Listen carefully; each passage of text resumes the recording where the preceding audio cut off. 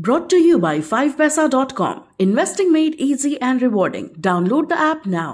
नमस्कार बिज देख रहे हैं आप और मैं हूँ आपके साथ तन्वी सिन्हा कोरोना काल ने हमारे काम करने के तरीके में काफ़ी बदलाव कर दिया है कई कंपनियाँ ऐसे में अपने एम्प्लॉयज़ को वर्क फ्रॉम होम मोड में काम करने का मौका देती आई है कुछ लोग इससे खुश हैं तो कई घर पर काम कर परेशान भी इसी बीच इलेक्ट्रिकल कार बनाने वाली कंपनी टेस्ला के सीईओ एलन मस्क ने कंपनी के सभी कर्मचारियों को लेकर एक फैसला लिया है। दरअसल सोशल मीडिया पर टेस्ला से जुड़ा एक मेल लीक हुआ है। इसमें कोरोना की वजह से शुरू हुए वर्क फ्रॉम होम को खत्म करने का ऐलान किया गया है। मेल में कहा गया है कि कर्मचारी को कम से कम 40 घंटे हर हफ़्ते ऑफ़िस में आकर काम करना होगा। यानी टेस्ला कंपनी में यदि पाँच दिन काम होता है और बाकी दो दिन छुट्टी होती है तो ऐसे में पाँच दिन के हिसाब से रोज के करीब आठ घंटे काम ऑफ़िस में करना होगा। लीक हुई स्क्रीनशॉट को लेकर दावा किया गया है कि यह मेल एलन मस्क की तरफ़ से टेस्ला के कर्मचारियों को लिखा गया है। वही मेल में भी उनका नाम लिखा है।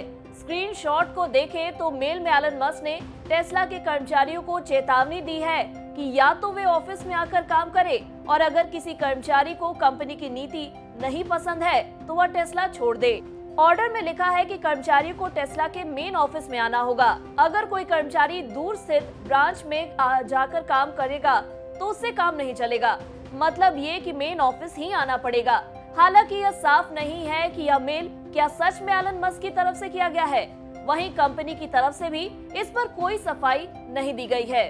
मेल में एलन मस्क ने कहा कि टेस्ला वाहन निर्मित करती है और यह काम फ़ोन पर नहीं हो सकता है। इसके लिए कर्मचारियों की मौजूदगी ज़रूरी है।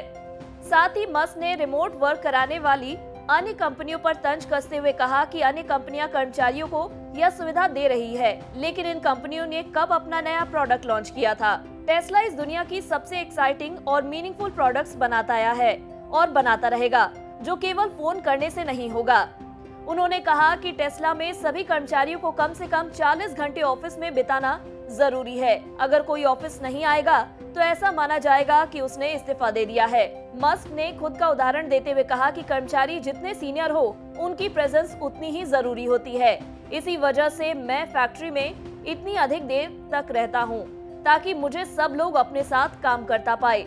अगर मैंने ऐसा नहीं किया होता तो टेस्ला बहुत पहले दिवालिया हो जाती। वहीं एक शख्स ने मस्क को टैग कर मेल से जुड़ा सवाल भी किया। इस पर मस्क ने कहा कि उनको कहीं और काम करने का दिखावा करना चाहिए।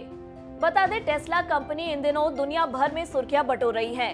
मस्क भारत में भी इसका प्लांट लगाना चाहते हैं, लेकिन अभी कई दिक्कतें हैं।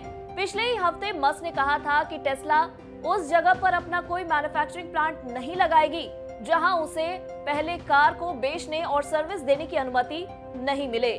मस्क लंबे समय से भारत में टेस्ला की कार को बेचने की कोशिश कर रहे हैं, लेकिन इसके लिए वह सरकार से आयात शुल्क में छूट जाते हैं।